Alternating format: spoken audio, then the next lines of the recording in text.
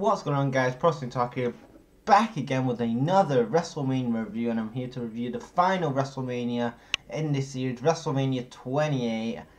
Um, I, in my opinion, I said WrestleMania 27 wasn't like my favorite show, I didn't like WrestleMania 27, um, but WrestleMania 28 was one of those shows that I actually enjoyed watching. It was like kind of like WrestleMania 26 or, or 24, like it wasn't a bad show. You can say you can go back and watch it. It wasn't like a magnificent show or anything like that, but you would go back and see a couple of things, like you know Punk and Jericho, or if it was Rock or Cena, or Taker and um, Taker and Triple H, end of an era, uh, or whatever. So we had the opening for WrestleMania World Heavyweight Championship Illinois, Daniel Bryan defending against Sheamus, and this was also the catapult of, of um, Bryan losing at WrestleMania was the catapult of him gaining over and hugely gain some huge momentum over the next two years, and he would also main event at WrestleMania. Um, but yeah, uh, Sheamus was with the brogue. It only lasted 18 seconds, so it wasn't really nothing in this match, to be honest. Then we get to Cody Rhodes versus Big Show. I thought that this was a good feud going into 2010, and like I said before, that's my fucking cat. My fucking cat just came in. Um, like I said before, I, I always thought that this feud was was a good feud for Cody Rhodes, and I said in my WrestleMania 27 review that I thought that Cody Rhodes should have been elevated a bit, a bit more. He was the guy, and they didn't push him. Um, unfortunately, in this count, he's freezing. Um, but yeah, uh, and uh, Big Show gets the win with the choke slam. Then after that, we have um, the tag match. It didn't really matter at this point because the brand split wasn't a thing. They they got rid of it in the summer.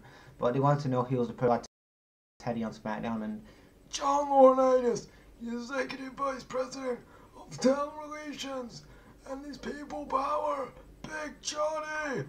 Yes, they had John Laurinaitis, and so they wanted to know who was the actual GM for both shows. So on the teams you had for Team Johnny it was Otunga, Ziggler, Henry, uh, Miz, was on the team? Um, Swagger. Uh, I think I'm forgetting somebody. And then on Team Teddy, you had Booker, Kofi, R-Truth, Hornswoggle, Zack Ryder, Santino. I think that's everybody I named on that. Yeah. The, and um, at the end, basically, it comes up the two, the last two guys in the match is Zack Ryder and The Miz, and then Zack Ryder's going to woo, woo, woo. He's doing his whole broski thing, and then um, Eve comes in and she's like, I want to do the woo, woo, woo. And then she, she, she basically costs um, Zack Ryder in the match. He, hit, he wins with a skull crushing. Um, the Miz hits him with a skull, skull crushing finale, gets the win. And Team Laurinaitis, People Power, is in charge of Raw SmackDown. Big Johnny. Yeah, John Laurinaitis um, is in charge of both Raw SmackDown. After the match, you know, Team SmackDown are looking down and they're looking out of it, and like, and then and then um, Eve just basically just lowballs Zack Ryder and that was it. And yeah, that was the end of Zack Ryder's push, unfortunately. Um, then we get to uh, Eve, and then speaking of Eve, we had Eve and Beth Phoenix versus Kelly Kelly and Maria Menounos. Um, this was a typical celebrity match. Um, the, the celebrity gets to win. Um, so that was about it. Um, it was a it was a decent build up, I guess, but like was, the match was nothing like we was talking about. And then we had one of one of the best matches of the night, in my opinion, probably the best match of the night. Triple H versus Undertaker, end of an era. And I know you guys, what you guys saying, it did, it wasn't really technically end of end of an era because they faced off at the Super Showdown last year. But whatever, at the time it was end of the era, end of end of an era. And Shawn Michaels was the, spe- special guest referee inside Hell in a Cell.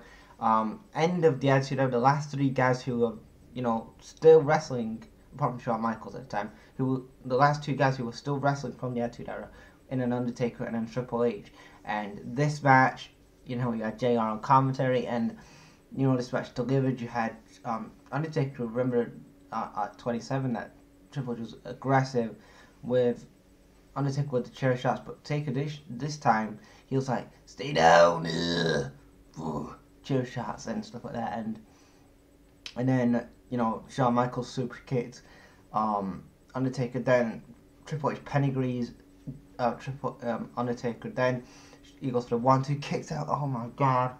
And after that, um, Taker picks up um, Triple H t- um, tombstones and gets the win. And the end of the match, they have an embrace, which I thought was good. Um, so yeah.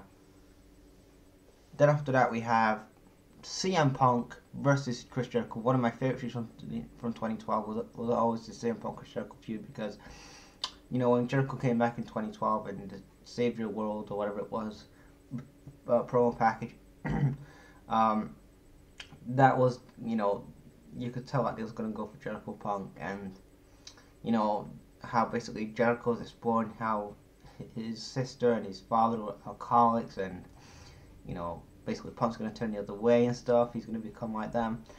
Um, but this was a good match here. I mean, I would have gone for a Jericho win in my opinion, but seeing where they gone now with it, and obviously the, plan was going to be Rock and Punk for Royal Rumble, then I, I understood the decision that they're going to keep it on Punk and have this long title reign.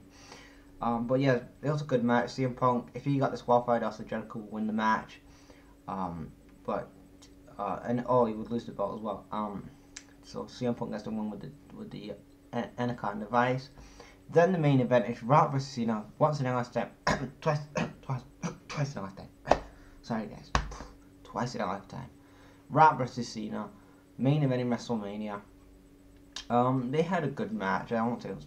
It, was a good main event. Um, you have Flo Rida out there. He was saying for the Rock and Machine Gun Kelly for Cena.